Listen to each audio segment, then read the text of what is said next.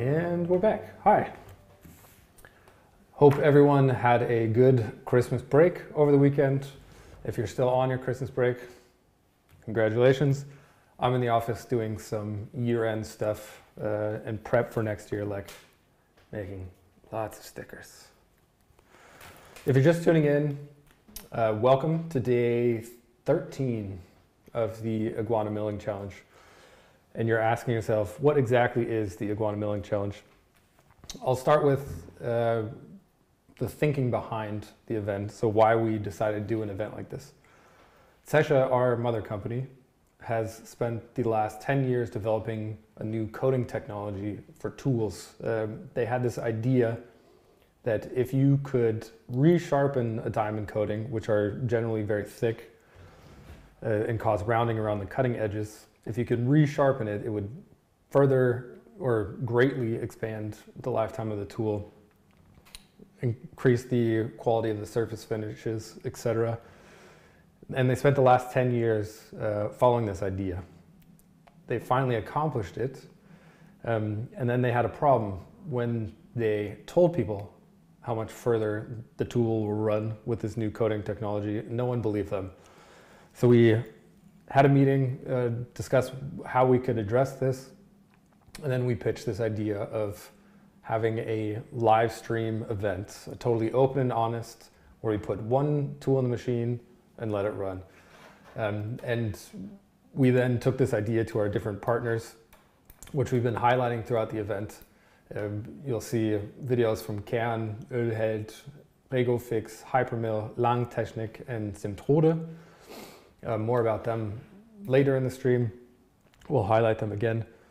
Um, and they all thought it was a great idea. So on the 16th of this month, um, we put one of these Iguana tools, it's a one millimeter ball tool, with this new coating and just let it run. And it's been running nonstop since the 16th. Well, almost nonstop. Um, if you see it in the stream, we had water supply issues to the machine. Uh, this morning we had a small programming mistake um, and the entire way CAN has been awesome. Marvin again this morning came in and found the mistake, saved the day. And so this crazy idea um, would not be possible without all of our partners. If you missed any of the opening, um, you can see them under highlights in our Twitch channel. You can also go to zecha.de and they have all the highlights, including the opening, anytime that I've checked in, partner videos, um, image videos and interviews, and just a ton of information about the tool. So I highly recommend uh, that you check that out. I'm happy to say now, if you look at the machine, we've hit 250 hours. As a reminder, a standard tool lasts 10 hours generally. So everyone's a little bit more relaxed. Uh, might even go as far to say as it's starting to become a little bit fun. So we'll see. I'll continue to do these check-ins daily during the week when I'm here in the office. Uh, if I run out of things to say, I don't know, next week we're just gonna have to start to do giveaways or something like that. Um, as you can see behind me, you can't see it right now, but in the corner uh, it always shows what design is milling. And we've milled all the partner designs that we wanted to do first. And now we've started with the first Alien Tools design.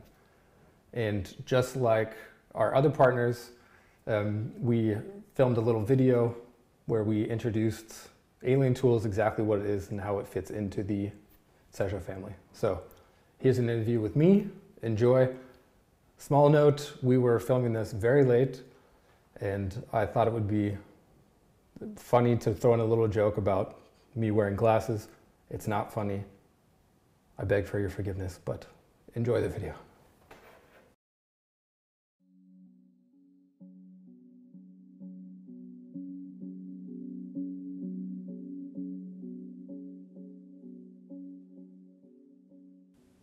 What is Alien Tools? Alien Tools is a project that we started with Zecha around three and a half years ago with a focus on the dental market. It was really a second brand where we could try out new things like crazy marketing, online marketing, online efficient processes, and things like that. It's gone so well that we are now stepping outside of dental and launching the industrial lines as well.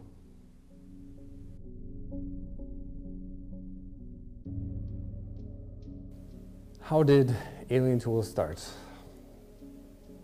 This is a longer story, so I will try to keep it short.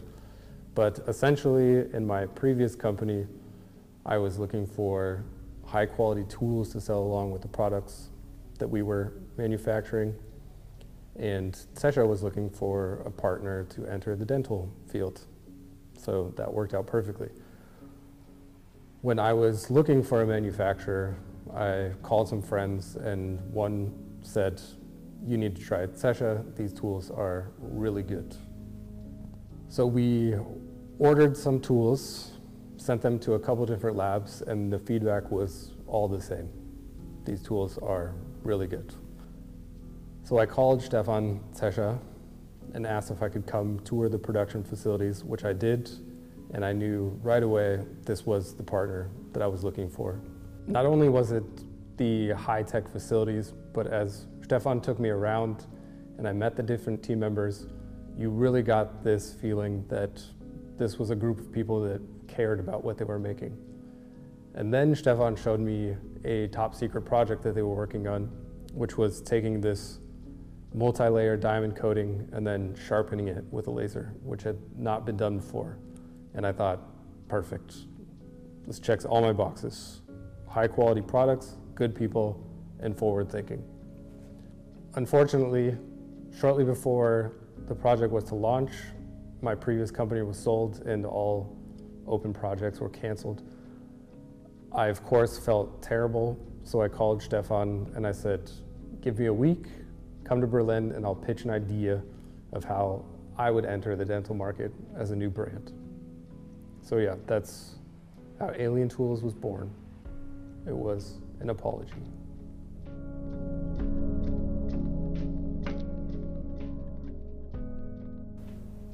Why Alien Tools? Alien Tools because we wanted something fresh, something that had to do with futuristic, and something where you had a lot of room to play with. For example, you could do silly things like this or stuff like this. You get the idea. There's a lot of room to work with. But mostly it's telling the story of these little tiny products that's most likely the smallest part of your manufacturing process, but also extremely important. And this is not some side product or plus product. This is the product of Alien Tools and Zecha.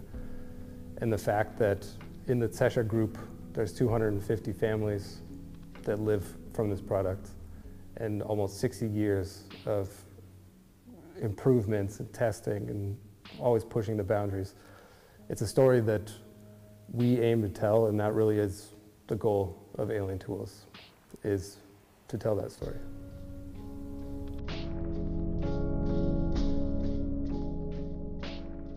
Uh, someone told me that it made me look smart.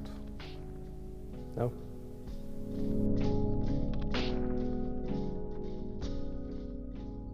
What's my favorite part about Alien Tools?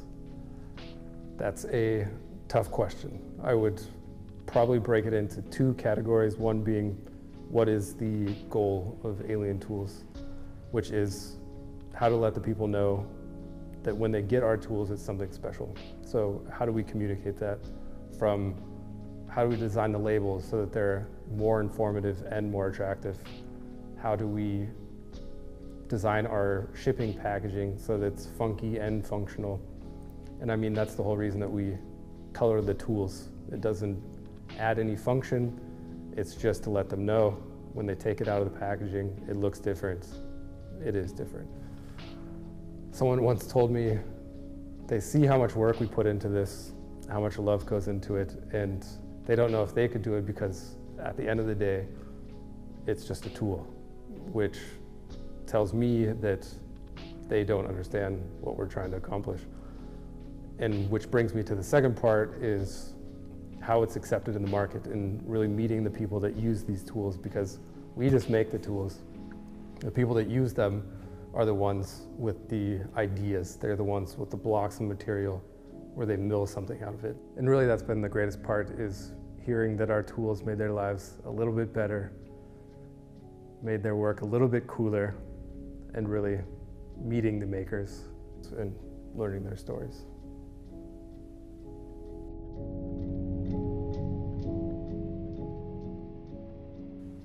All in all, it's been a pretty great almost four years. Um, it wouldn't be possible without the whole team at Zecha. So a big thank you to my Königsbachstein crew. And I look forward to seeing you all again very soon.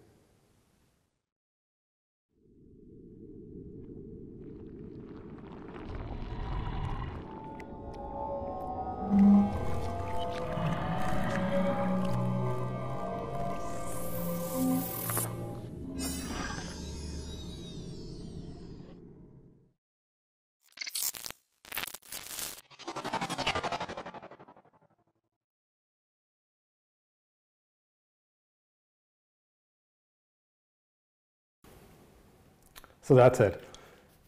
You've seen enough of me.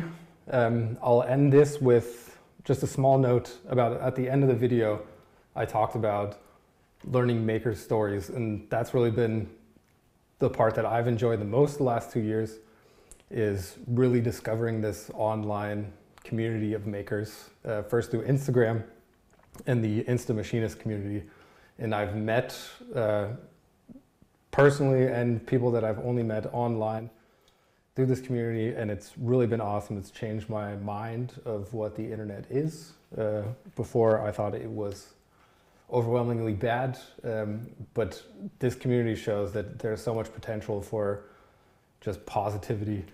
Um, who could I name from the dental side? I mean, there's there's small companies that show you through their stories just the entire journey um, from start to finish of building a company, all the problems that come with it. So it's highly entertaining, and I recommend uh, making that part of your daily routine is to checking in with these people. From dental, Keith from ToothWorks, Darren Kelsey, uh, CAD-CAM Energy. From the industrial side, uh, Caleb Oliva, uh, Split 141. He makes, or he made these cool little tweezers uh, that I bought, Helical Fresh. On the welding side, Fidget Things, who makes stuff like this. Little fidget, fidget spinners or little box openers that open like this. see if I can do it one-handed. Um, tactical keychains, I don't have one here because it's been impossible to get over the last years. Uh, Eric CNC, who else? Oh, Freelux, something I have every day, always. I have the last Black Synergy one. Um, five axis maker, for example, they're, they make little tabletop machines uh, in London. And in this example, they have an indication where they cut these clear aligners uh, with one of our flat uh, double flute tools. They're also awesome. Uh, and finally, the one I'd like to highlight, there's a ton. So if you have any questions about who to follow, uh, just write me or write me on Instagram. I'll give you a list. But Salvon, uh, the hero of the day, who makes these cool little keycaps uh, released his own keyboard. He is the definition of uh, just showing you the entire process of building a company, and it's been fun watching him go from his small garage to now uh, larger manufacturing facilities. He also helps promote the event, um, like told Jordan 64 TV on Twitch uh, to raid our Twitch stream last night. So thank you for that, Jordan. I, I owe both of you guys a couple hoodies or something. But that's it. Uh, check out the machining community, also on Twitch. Um, I'm relatively new on Twitch, so if you have suggestions on anyone to follow, let me know. Um, and just go and support the makers out there. That's all for me today. I'll see you tomorrow.